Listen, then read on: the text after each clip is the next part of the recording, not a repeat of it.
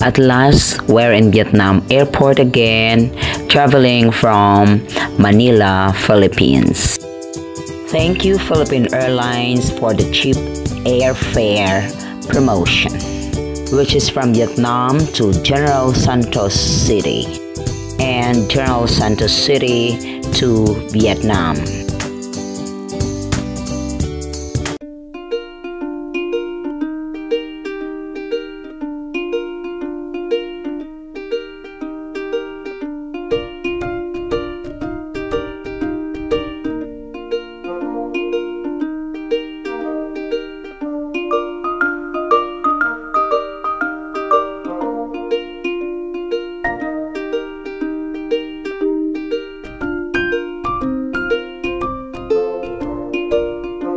Traveling back from a one week holiday is really tiring but fun.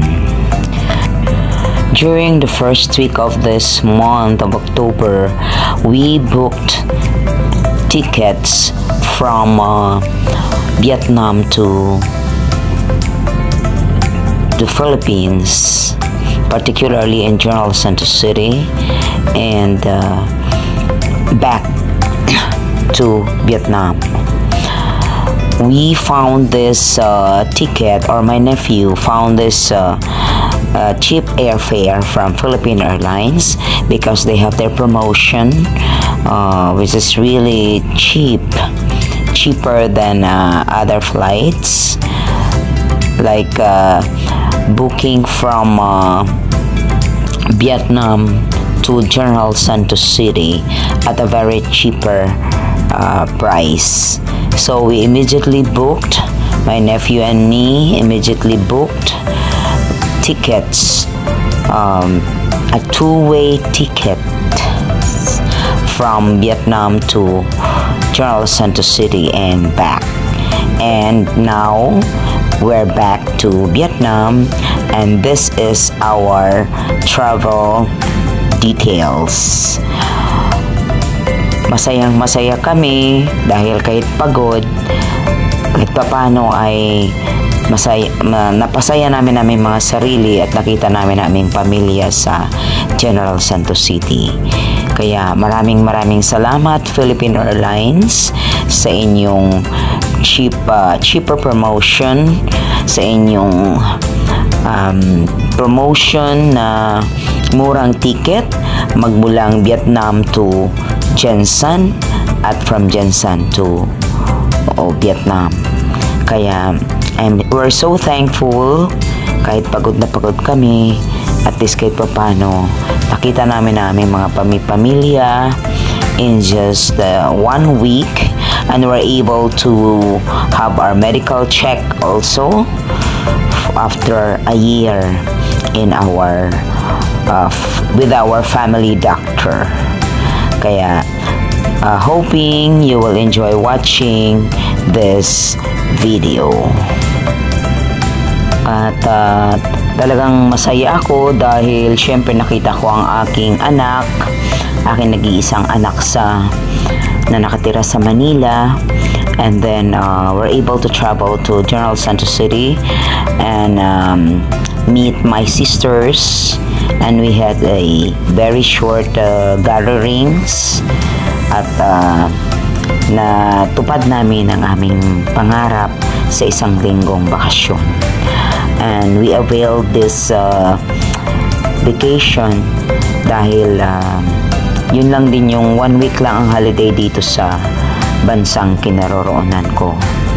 Kaya in, kaya namin uh, we take chance we take chance for the one week holiday. Kaya gustong gusto ko mang makita ang iba pang mga friends on uh, YouTube tulad ni Teacher Ana Dions and uh, the rest of my friends uh, on YouTube industry ay wala talagang panahon. Tapos mahina pa yung ating alam naman ng lahat na mahina ang ating internet connection sa Philippines.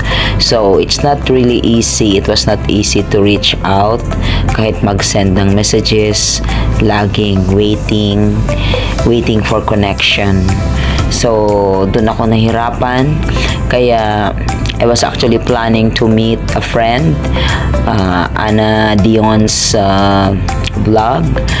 Kaso lang, yun, hindi na natuloy. Anyway, uh, we're going back again for another holiday.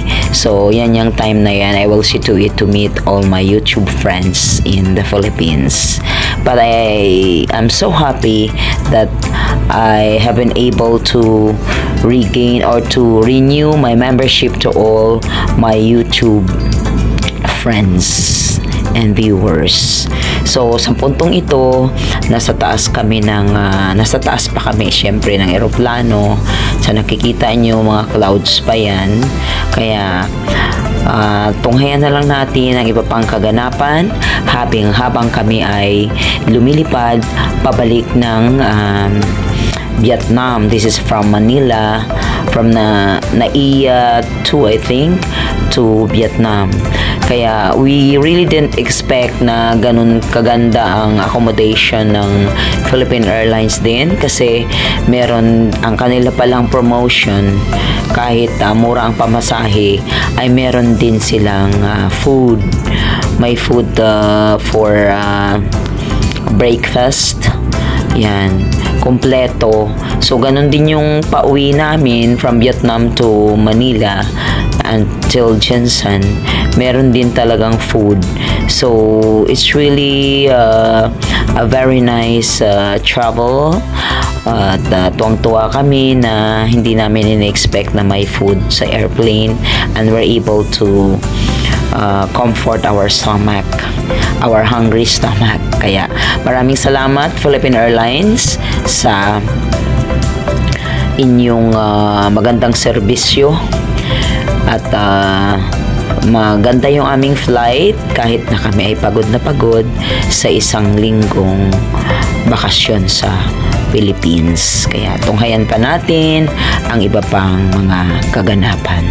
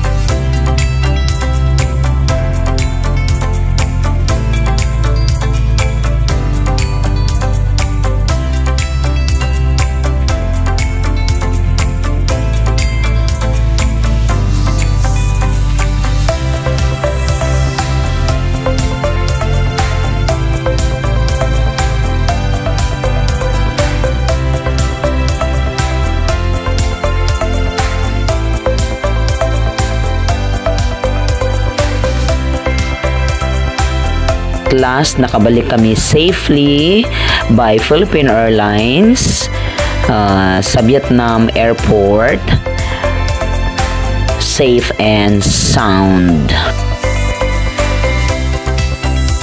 Once again, thank you so much Philippine Airlines for giving us a very comfortable flight.